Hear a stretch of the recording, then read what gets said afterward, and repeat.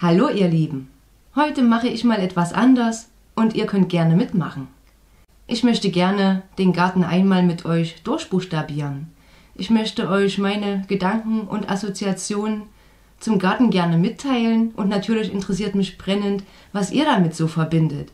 Also notiert euch doch gerne eure eigenen Gedanken zu den einzelnen Buchstaben parallel mit und lasst uns in den Kommentaren zu diesem schönen Thema in Austausch treten.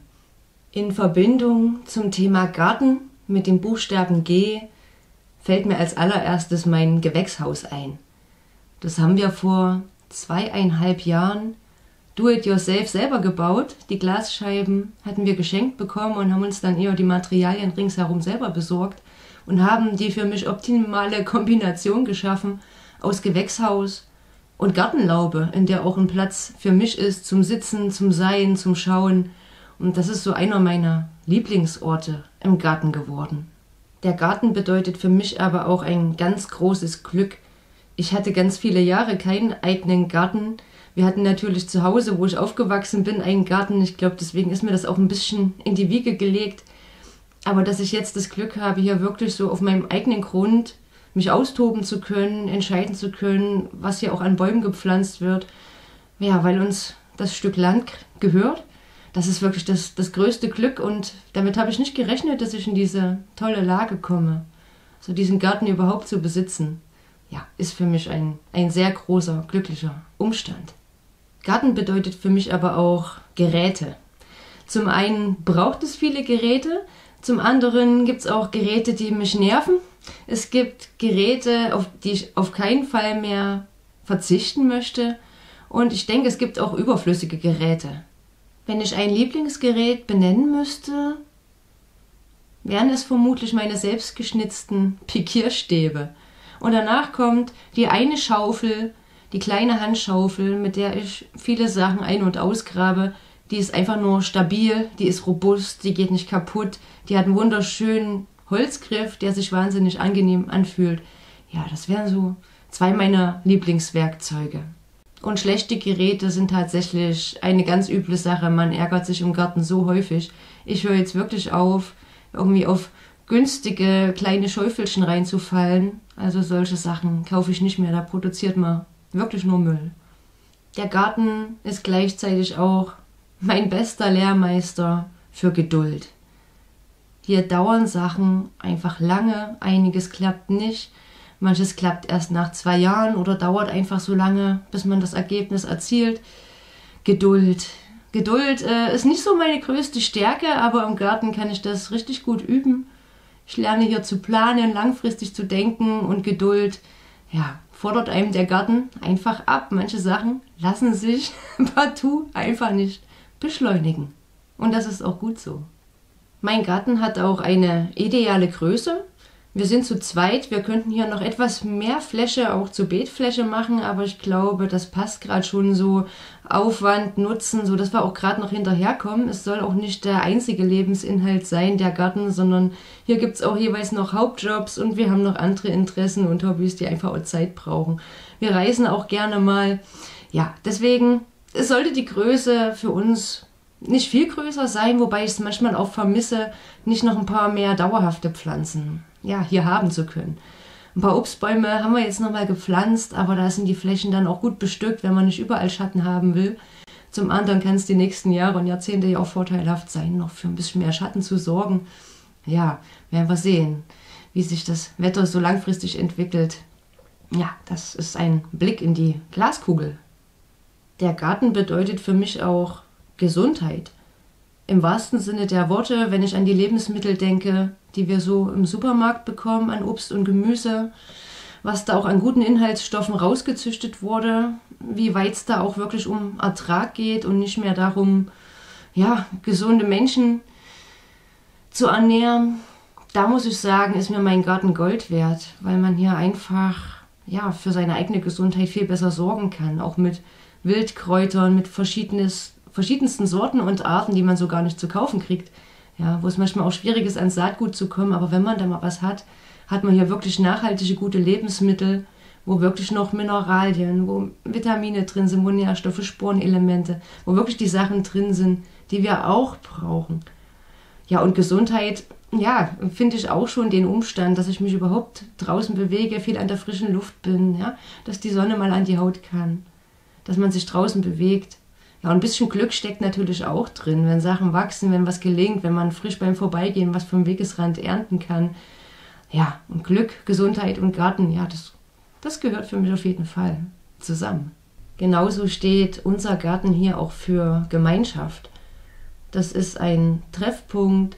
Wir treffen uns hier gerne mit den Nachbarn, mit Freunden, mit Familie. Man, man sitzt hier an der Feuerschale oder einfach in der Sonne oder eben im Sommer im Schatten und isst ein Eis oder trinkt eine selbstgemachte Limo oder macht sich einen frischen Kräutertee aus dem Garten. Ja, Freunde nehmen auch gerne mal noch Ernte mit.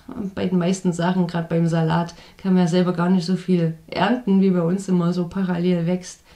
Ja, das hat auch was von Gemeinschaft, von Teilen, von einem schönen Aufenthaltsort. Und da gemeinsam zu sitzen und ins Grüne zu schauen, ja, glaube ich, tut allen Augen gut. Zum Buchstaben G. Was das an Spontanassoziationen? Geschenke, Geschenke fallen mir noch ein. Ja, die Adventszeit steht bevor. Die meisten Sachen, die ich verschenke, stammen tatsächlich aus dem Garten oder Zutaten davon. Ob das Kräuteressig ist, Kräuteröl, Lavendelsäckchen, die ich selber nähe, das Kräutersalz ist, den ich herstelle, ob das Samen sind, die ich auffange und eintüte und dann verschenke.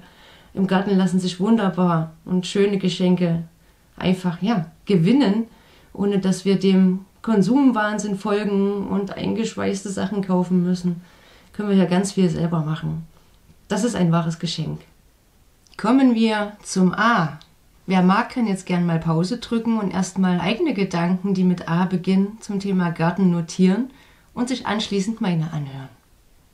Los geht's. Im Garten ist für mich das A und O eigentlich der Anbau von eigenem Obst, von eigenem Gemüse, von eigenen Kräutern. Das ist so für mich ja der Sinn des Gartens, dass wir überhaupt eigene Lebensmittel, Nahrungsmittel dort erzeugen können. Dann fällt mir da die Aussaat ein, und gleichzeitig auch die Abstände. Das hängt ja auch zusammen, das Thema. Aussaat ist ja fast das ganze Jahr in, in vielen Rhythmen. Das wiederholt sich auch in Zyklen. Und ich muss lernen, beim Aussehen und auch beim Pflanzen dann noch mehr auf die Abstände zu achten. Man unterschätzt wirklich, wie groß so manches Pflänzchen wird. Da kann man auch nur bei lernen. Garten bedeutet für mich aber auch durchaus Anstrengung und Arbeit. Und das ist für mich aber gleichzeitig auch ein guter Ausgleich. Ja, ich habe ansonsten jetzt nicht so die große körperliche Arbeit auszustehen in meinem Hauptberuf. Und dafür ist der Garten für mich aber auch was, wo ich in Bewegung komme, wo ich mal anpacken kann, wo ich dann auch sehe, was ich geleistet habe, wo man sich dann auch mal ausgelaugt fühlen kann, ja, das ist ja auch ein Ersatz für Sauna, Solarium und Fitnessstudio zugleich, wenn man da im Sommer irgendwie anfängt, irgendwie Erdhaufen von A nach B zu bewegen. Ja, das be bedeutet Garten für mich auf jeden Fall auch.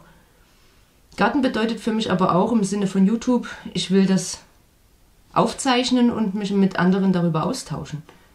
Ja, also ich freue mich immer, wenn jemand was in die Kommentare schreibt, wenn es ähm, andere Erfahrungen gibt, wenn es Fragen gibt das sind so Sachen, wo ich es super finde, dieses ja analoge Arbeiten auch ja in, mit der digitalen Welt ja, teilen zu können und da in Austausch zu treten. Das bringt mir einen Mehrwert. Ja, und ich hoffe, euch auch. Der Garten bedeutet für mich auch Autonomie. Im Sinne von, ich kann entscheiden, welche Sorten ich hier anbaue, wie viel von was. Ich bin unabhängig im Sinne von autonom. Ich muss mir nicht äh, Spezialdünger kaufen, weil die Samen irgendwie F1-Hybride sind und nur ein Jahr funktionieren. Ich kann wirklich hier Sachen nachhaltig gewinnen. Ich kann mir Sachen heranzüchten. Ich kann einen Mehrwert erzeugen. Ich kann autonom sein und brauche von vielen Sachen irgendwann ja zum Beispiel keine Samen mehr einkaufen. Das sind so Sachen, da finde es auch gut, autonom zu sein im Sinne von, ich kann jederzeit rausgehen und mir was ernten. Ja, ich kann mir aussuchen, was ich esse. Ich muss nicht das kleine Angebot aus dem Supermarkt oder vom Markt nutzen. Ich kann auch Sachen ausprobieren. Dafür steht der Garten auf jeden Fall auch. Damit zusammenhängt auch eine gewisse Artenvielfalt. Also hier, ich habe hier Sachen angebaut, die, die kann man gar nicht kaufen, habe ich irgendwie noch nie gesehen. Das ist, ist total Wahnsinn, wie viele Sorten von einzelnen Früchten es zum Teil gibt. Und wir sind vom Supermarkt einfach nur die Sachen gewohnt, die sich am besten lagern lassen. Aber das sind oftmals nicht die aromatischsten, die geschmackvollsten, die gesündesten, im Gegenteil.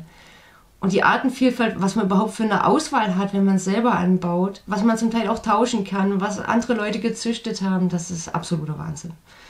Und da, ja, diese Vielfalt zu haben, das ist für mich ein absolutes Glück und ein Gewinn. Und Artenvielfalt meine ich aber auch durchaus im Sinne von ja, hier sind viele Insekten, hier gibt es die schwarzblaue Holzbiene, wir haben kleine Echsen da, ein Haufen Vögel tummeln sich hier, sogar der eine oder andere kleine Heckenbrüder hat, hat sich schon zeigen lassen. Also es ist Wahnsinn.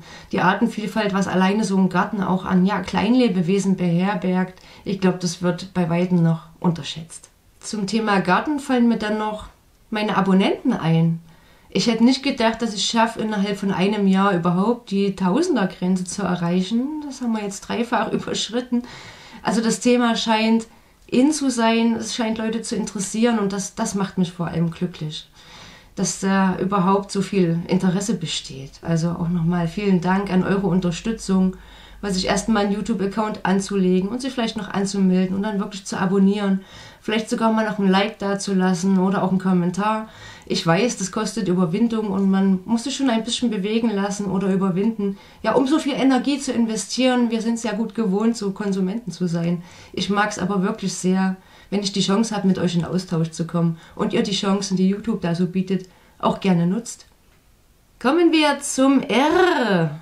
R, R, Ruhe. Ruhe und Rasenmäher. Ja, das sind so meine, ja, das ist so die Pole, zwischen denen das schwankt, was ich im Garten so erlebe.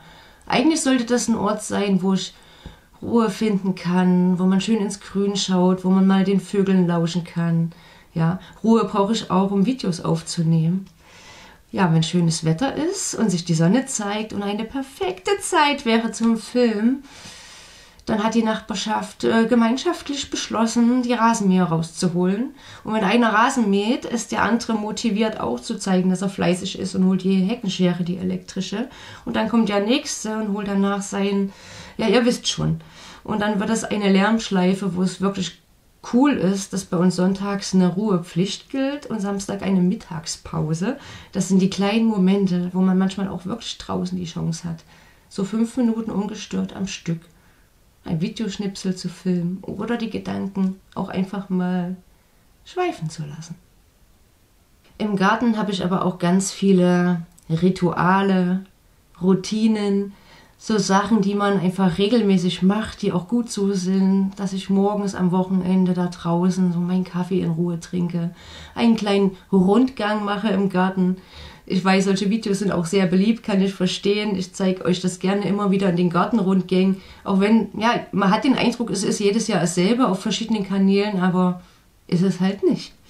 Wer regelmäßig zuschaut, weiß das und wer selber einen Garten hat und das Wetter beobachtet, weiß auch, dass die letzten Jahre sich schon deutlich unterscheiden können und jeder doch ein paar Sachen anders macht. Und deswegen sind auch solche Rundgänge und die eigenen Routinen gar nicht schlecht. Ja, man muss ja nicht jedes Jahr das Fahrrad neu erfinden. Dann kommen wir zum Tee. Tee, Tee, Teilen. Garten hat für mich ganz, ganz viel mit Teilen zu tun. Sowohl, also ganz analog, also Samen teilen, sich da austauschen, hin und her tauschen. Da habe ich einige Leute, die, ja, da kann man gute, ja, Teil- und Tauschpartnerschaften und so Handel aufmachen. Das macht dann noch viel mehr Spaß. Das Teilen heißt auch Ernteteilen bei mir. Da gebe ich gerne was ab. Das macht genauso viel Spaß, wie die Sachen selber zu essen. Und oftmals hat man ja auch, wenn es gerade gut wächst, wirklich Überfluss. Ja, ich erinnere nur an die jährliche Zucchini-Schwämme, wenn jeder nur noch was abgeben will. Da hat das Teilen dann seine End, sein Ende so gefunden. Ne? Ich meine das Teilen aber auch durchaus digital, was ich vorhin schon meinte. Also das auch mit anderen teilen zu können, Rückmeldungen zu kriegen. Ja, und auch das andere teilen und vielleicht selber Videos machen, Blogs und Beiträge auf anderen Plattformen. Das gefällt mir gut, dass sich das mit dem Thema Garten so gut analog und digital ja, verbinden lässt. Was fällt mir noch ein mit Tee? Töpfe, jede Menge Blumentöpfe. Ich habe da noch nie welche gekauft. Ich habe immer in der Nachbarschaft gefragt, ob, äh, wenn die Leute so ihre Balkonkästen bepflanzt haben, ob ich so die Töpfe haben kann, wer seine nicht mehr braucht.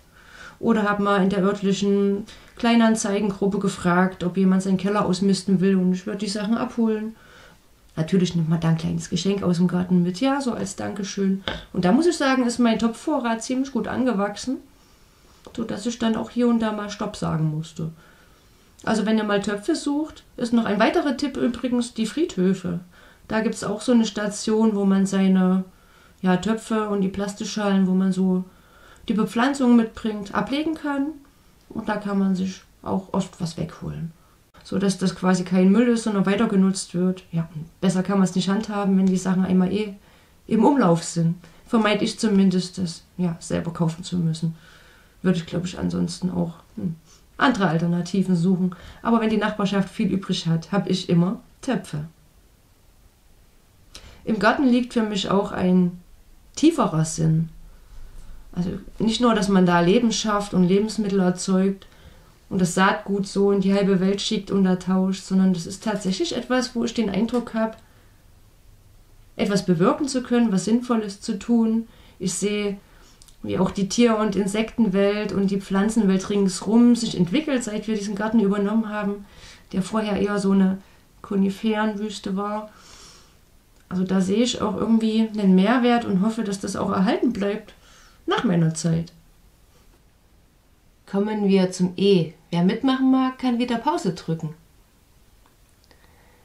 Beim Garten denke ich auch an Ernte, Ertrag, an Essen. Das gehört so für mich auch ein bisschen zusammen. Wir haben kaum Zierpflanzen hier und die, die da sind, sind eher so von den Vorgängern, was noch so drin war und uns im Frühjahr regelmäßig überrascht.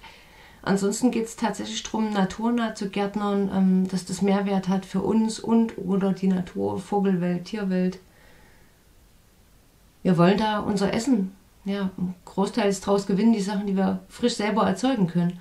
Manche Sachen sind schwierig, aber was wir selber machen können, ja, das, das machen wir gerade und das schafft den Mehrwert und spart auch bares Geld. Der Garten heißt für mich aber auch, Ergebnisse zu sehen. Ja, also mein Hauptjob hat eher was mit Menschen zu tun.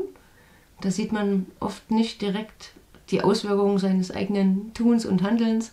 Im Garten ist es ein bisschen anders. Da hat man tatsächlich so ja, so ein Ziel vor Augen, man tut was dafür und dann klappt es oder nicht und dann kann man relativ genau analysieren, ja, also die Pflanzen müssen von selber wachsen, aber wir können das Beste dafür tun. So ähnlich ist es auch in der Arbeit mit Menschen. Aber im Garten muss ich sagen, sieht man Ergebnisse nochmal deutlicher anders und Auswirkungen, auch wenn was kaputt geht, ein bisschen eher. Garten bedeutet für mich aber auch immer wieder Neues zu entdecken. Egal, ob das Zusammenhänge in der Natur sind oder ganz neue, interessante Insekten, die ich so noch nie gesehen habe. Da waren jetzt krasse Spinnarten im Sommer da. Also das war wirklich faszinierend. Wir sind uns auch nicht in die Quere gekommen.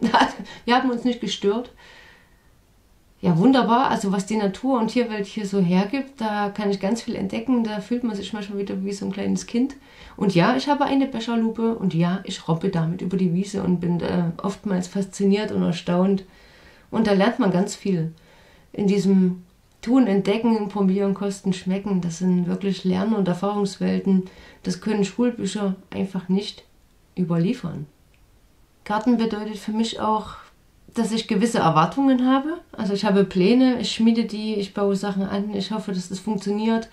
Großteils klappt das auch. Ich habe auch Erwartungen, wie das hier mal in drei, fünf oder zehn Jahren aussehen soll.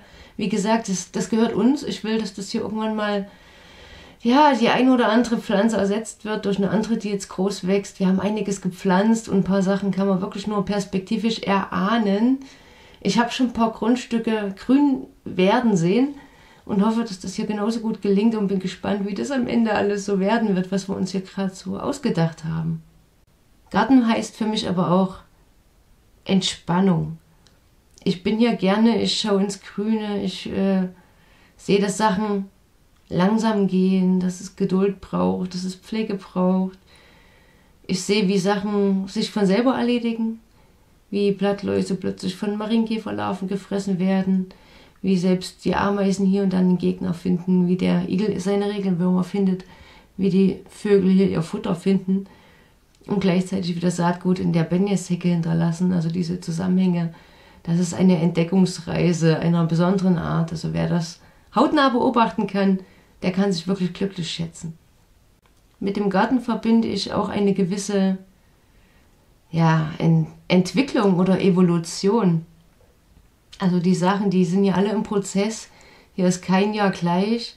Hier in, also wir haben jedes Jahr neue Ideen. Hier sind Sachen, kommen weg, Sachen entstehen neu. Also das wird niemals fertig sein. Und das ist auch was Schönes, dass sich das alles entwickelt, dass hier Sachen auch vor Ort weiter vermehrt werden. Wir werden was auf die Region und unseren Standort anzüchten. Im Sinne der Evolution so das Beste aus den Sachen herausholen und es wird sich entwickeln mit uns, zum Teil mit dem Wetter, mit unseren Ideen, mit den Sachen, die gelingen. Ja, und dann werden wir sehen, was die nächsten Jahre hier so auf uns zukommt und ich freue mich darauf, euch mitzunehmen. Wir kommen zum Ende wenn ihr mitmachen mögt, drückt jetzt wieder Pause und notiert mal eure Assoziationen zum Garten, die mit N beginnen. Mir kommt da als erstes so die Neugier, das Neue, die neue Chance. Man hat jedes Jahr eine neue Chance, man kann Sachen neu ausprobieren, das Wetter ist neu, man kann neue Sachen probieren, man kriegt neue Inspirationen von außen, von innen, man hat eigene Ideen, man kombiniert Ideen, man sieht, wie Sachen wachsen, man hat was übersehen, was vergessen, was plötzlich gedeiht und blüht. Man kann Samen gewinnen, man hat neue Ideen. Also das ist so wirklich Wahnsinn im Garten, das so permanente Entwicklung, Prozesse, Neuigkeiten. Es gibt immer was zu entdecken, ja. Alle zwei, drei Tage ist ja was anderes. Das ist äh, auch wirklich schön, da gemeinsam mal so Gartenrundgang zu machen. Also ich auch mit meinem Mann. Ich sage, hast du das schon gesehen? Freust du dich auf das? Guck mal, das hast du ausgesehen. Hier kommen jetzt die ersten. Das sind so Erlebnisse, wo man wirklich so seine Taten sprießen sieht. Das macht Spaß und glücklich. Mit dem N verbinde ich aber auch ganz stark die Natur, das naturnahe Gärtnern, die Nachhaltigkeit, ein bisschen das, ja, den Mehrwert auch, nicht nur für uns, für die Ernte, für den Ertrag, für Mehrwert, für egal was nach uns kommt, sondern so ein bisschen schon auch, dass ähm, ja, die Umgebung, die Ökosysteme, die Tiere, die kleinen wie die großen, die Pflanzen hier auch hier und da ihre Räume, ihren Platz kriegen, ihre Chancen, wo sie woanders vielleicht durch viel Ordnungssinn, ja, und äh, Methoden, die vielleicht auch mal falsch übersetzt wurden, ja, nicht so die Chancen haben, die wollen wir hier gerne bieten. Und ich sehe schon, dass das sich gut entwickelt und dass das klappt und dass hier wirklich eine. Also hier sind Sachen zu entdecken, die habe ich woanders so noch nicht gesehen und da sehe ich, dass wir ganz viel richtig machen. Das hat ganz viel ja, mit Nachhaltigkeit für mich auch zu tun. Und ja, da freue ich mich auch drauf zu entdecken, was hier die nächsten nachher noch so entstehen mag. Und ich hoffe, ihr kommt mit. Zum Ende fällt mir noch ein, dass ein Garten auch eine gewisse ja, Notvorsorge, Krisenvorsorge in dem Sinne darstellt, dass ich mir wirklich jederzeit was holen kann. Wir haben hier Nährstoffe, wir haben Sachen, die satt machen. Das ganze Jahr, ich weiß, wo ich graben muss, damit ich noch so Kartoffelalternativen finde. Wir haben hier wirklich noch gute Gemüse, die winterfest sind, die frostfest sind. Wir haben Sachen, die Heilkräuter im wahrsten Sinne des Wortes darstellen, auch wenn die Apotheken mal nicht mehr aufhaben. Also hier geht richtig viel und das ist aber Wissen, das kann man sich nicht mal schnell reinziehen. Das sind Sachen, die muss man erkunden, erfahren, schmecken, riechen, ja, Lust drauf haben und dann lernt man auch viel schneller, als wenn man jetzt versucht, sich irgendwie Bücher reinzupauken für den Fall, dass mal irgendwie Sachen ausfallen, mit denen wir sonst gut leben, glaube ich, kommen wir hier eine ganz gute Weile hin und können auch vielen anderen noch helfen. Das hat auch was mit ja, Notvorsorge zu tun. Nachteile hat der Garten für mich auch, wenn ich ans Ende denke. Hm, es ist immer so mit schlechten Gewissen verbunden, mal länger wegzufahren. Es ist selten möglich, dass es wirklich ganz ohne Zutun in Ruhe gelassen werden kann. Gerade das Gewächshaus braucht zumindest im Sommer, wenn man mal weg will, oder im Herbst auch früher, zumindest mal das Gießen. Selbst wenn man alles andere vorbereitet. Also ja, wir haben gute Nachbarn, die machen das gerne. Wir helfen uns da auch gegenseitig. Aber es wäre schön, wenn man da noch autarker werden könnte. Ja. Deswegen entscheiden wir uns gerade noch nicht so richtig für Tierhaltung, weil wir viel unterwegs sind, weil wir oft weg sind. Und die Sachen, die uns interessieren würden, ja, stammen zum Teil auch aus unseren familiären Hintergründen, aus persönlichen Interessen, aus Selbstversorger, ja, Gedanken. Da geht es durchaus darum, ob Bienen, Hühner, Hasen, Schafe, ob sowas mal gehen würde. Natürlich nicht alles auf unserem Grund. Aber sowas wäre schon gut, ne? Wie haltet ihr das so? Ich glaube, ich habe mich durchbuchstabiert. Bei N fällt mir jetzt nur noch ein. Ich hoffe, ihr freut euch aufs nächste Video. Und wenn ihr eigene Gedanken habt, was bedeutet Garten für euch, ich würde mich sehr freuen, wenn wir uns in den Kommentaren ein bisschen austauschen können. Ich finde das ein schönes Thema und wenn ihr Lust habt auf mehr ja, Podcast zum Zuhören, da kann man nebenbei ja richtig schön was anderes machen, dann meldet mir das gerne zurück. Ich wollte es gerne mal probieren und wir schauen mal, wie es euch gefällt und was ich im Nachhinein für Gedanken dazu habe, ob sich da noch mehrere Teile anbahnen. Ich habe mich jetzt auf Garten auf sechs Buchstaben beschränkt, weil ich wusste, zu dem Thema fällt mir ein Universum ein. Also da gehen mir gedanklich, wirklich bildlich Mindmaps auf im, im Kopf. Der sagt mal, ob ihr Bock auf mehr habt. Ansonsten habe ich ja noch ein paar Sachen verlinkt. Da gibt es wieder mehr zu sehen. Und ja, auch was zuzuhören, aber nicht mit dem Schwerpunkt auf Podcast. Bis zum nächsten Mal, ihr Lieben. Macht's gut und tschüss.